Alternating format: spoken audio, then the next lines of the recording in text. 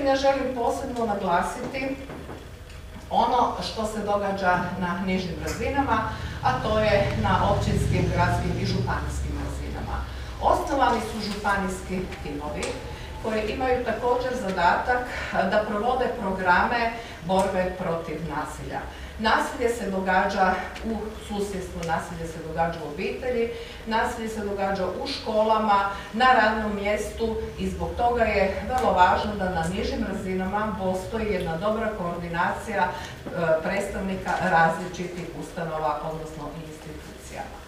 U tome vidimo veliku ulogu i u tome se očituje veliki angažman upravo naših predsjednica županijskih organizacija koje povezane sa povjerenstvima, županijskim povjerenstvima za ravnopravnost spolova mogu i one to čine različite akcije, provode različite akcije i aktivnosti koje su usmjerene prema